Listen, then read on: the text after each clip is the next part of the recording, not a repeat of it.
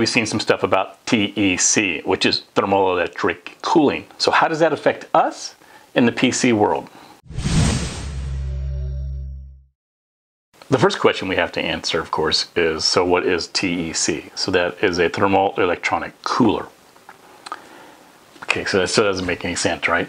So what they do is they take two unique semiconductors. One is like a type N and one is like a type P. And they have different electron densities in them. So when you alternate the P and the N, when you put them together, and you put them into a, a series, well, here it is right here. This is what I have. So they have, the semiconductors are in the middle, and then you have like a ceramic plate on the top and you do have a ceramic plate on the bottom. Now there is, I'll, i call it top and bottom, but there is actually what's called uh, a hot side and a cold side. That's why I have mine actually tagged C and H. So what happens is that one side will actually draw more of the heat that's generated away from the system. So it's like a imagine this as a small refrigeration system. So it's an electronic compressor or a heat pump. So it actually generates cooling on one side and heating on the other, so it removes the it removes the heat. That's all cooling does. Cooling doesn't induce cooling, it actually removes heat, thus making things cooler. So that's what these are. I've actually been playing with these for myself gosh, I don't know, quite a while. Even had some ideas of trying to make my own uh, TEC cooler. And truthfully, this technology has been around for a long, long time. I remember back in 2007, it was Ultra Products. So Ultra Products had tried to come up with, and they called it a, a TEC chiller or something to that effect. So they basically had a TEC, and of course they had the heat plate here, and then they stuck a, a massive air cooler on top of it, because that's what you need to do. I mean, the cooling is just going to go into the CPU, right? So you're going to cool off the CPU. But the big problem also was trying to get rid of where the heat go. You don't want to heat up the inside of the case. So they made it go through a big air cooler, and then they cooled it down, trying to keep the heat down. The real problem with these are is if you get one big enough, this one I think is like 60 watts and 100 watts. I don't think it would build up as much condensation as, as, a, as a bigger one, but it might. But that's the problem. So when you start using this, it can actually freeze up the air, depending on the moisture that's in the air. That's where the problem is. So if you have this and you have, let's say this is your CPU, and you put that on top.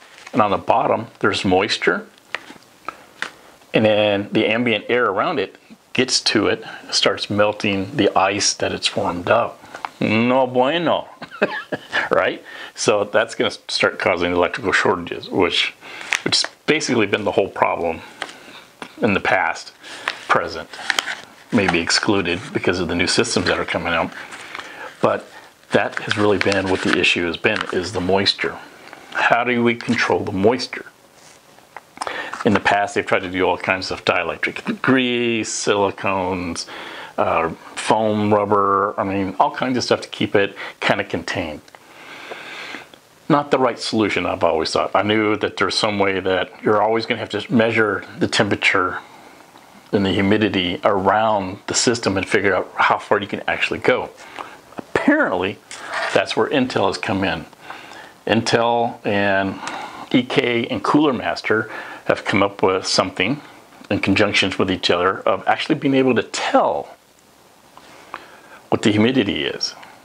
Most people probably haven't even heard of this term, but the dew point.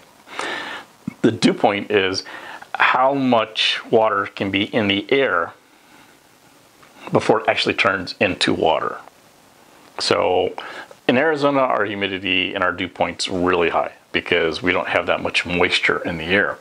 That's why we use what we're able to use a swamp cooler is that we actually add water to the air to cool down the air. Other places of the world or the country actually have an abundance of moisture in the air. That's where you get into the trouble.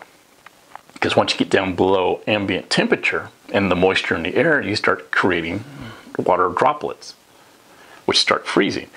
So that's where you can start getting your, sh- short circuits at. You need to be able to control or predict what the humidity is and be able to control the actual temperature that this is running to keep it from doing that.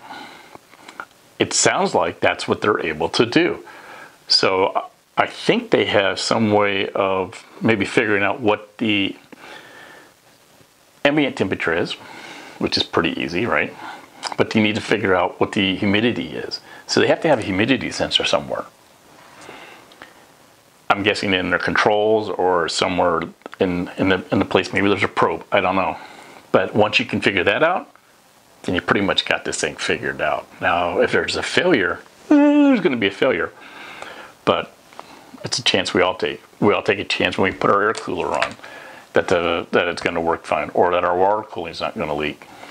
So we always take chances, seems like every day on this stuff. I'm really kind of excited to see the next steps after this. If this can be controlled like they're saying, this could be kind of a game changer for the whole PC world. The average everyday user may not affect us as much, but then again, it probably will.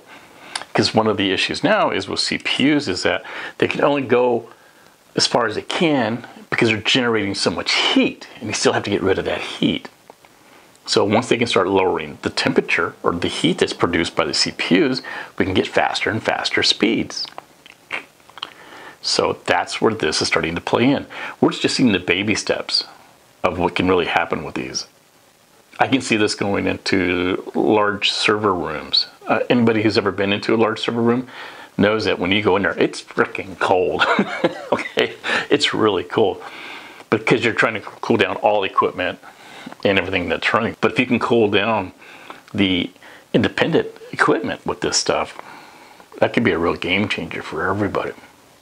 So I'm really excited to see what's going to happen. Uh, I would hope that maybe at some point in time I'll actually get one of these in my hands from either Cooler Master or EK or maybe somebody else that's coming up with it and really test it out.